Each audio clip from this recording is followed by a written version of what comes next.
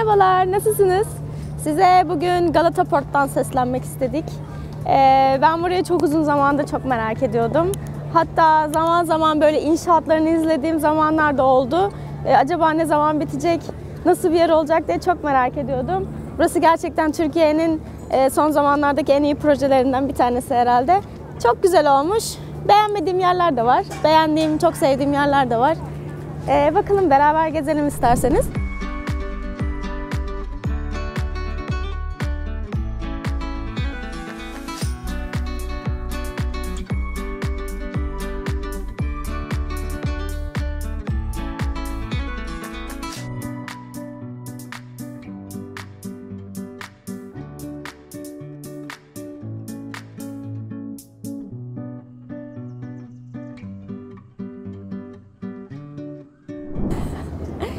Yaklaşık e, 7 milyon turist, 25 milyon yerli ziyaretçi ve 1,5 milyon kadar da gemi ağırlayacak bir yer. E, ulaşım da kolay. Ben arabayla geldim ama e, vapurla da gelmek çok kolay. E, yeri tam olarak Mimar Sinan Güzel Sanatlarla Karaköy Vapur İskelesi'nin tam arasında kalıyor. Güzel bir sahil.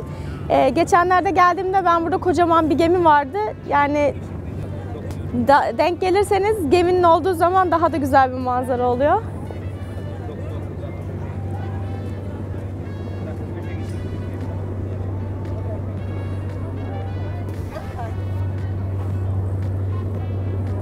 Yani dedikodularda aslında burasının bir İsrailli iş adamıyla beraber ortak yapılacağı konuşuluyordu ama e, hatta o öldü. Kimdi adı söyleyeceğim size.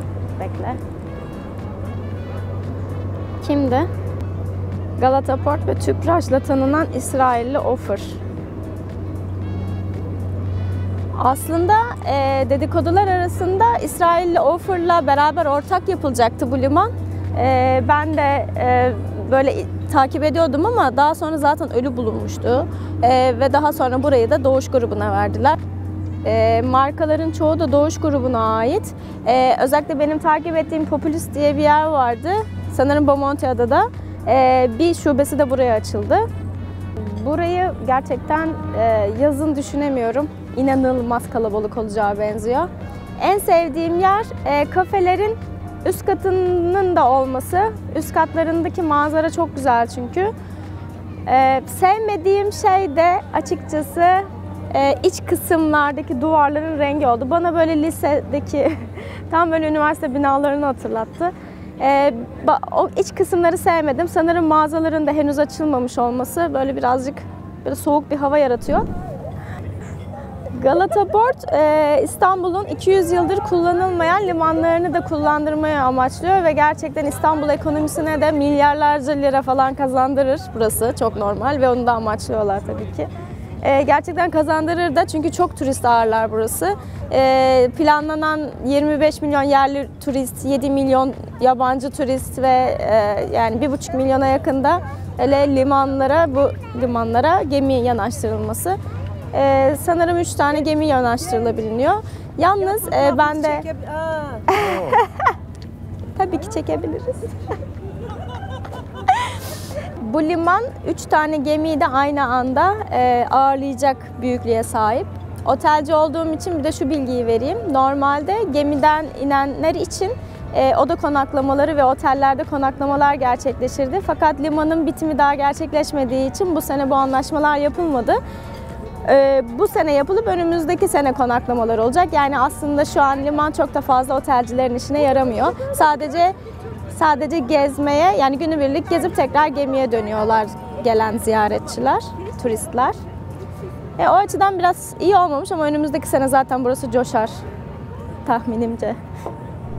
E, beni en çok etkileyen şeylerden bir tanesi de Türkiye'nin en eski saat kulelerinden bir tanesi. Tophane'deki Tophane Saat Kulesi diye geçiyor sanırım.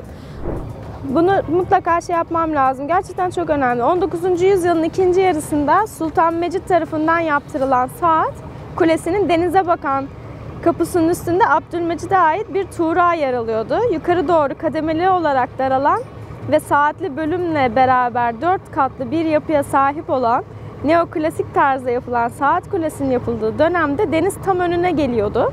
Üzerinde yer alan sancak, diğerinin etkisi ve denize bakan kısmının zemininin oynamasıyla kule zaman içinde denize doğru bir buçuk derece yattı. Bu haliyle İtalya'daki Pisa Kulesi'ni andırıyordu.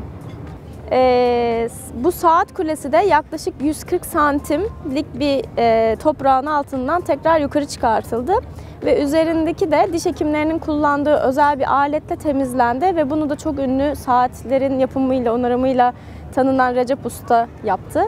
Ee, ben size onu da gösteririm. Eski haliyle yeni halini gerçekten beni etkileyenlerden bir tanesi. Tarihle ilgili önemli bir bilgi.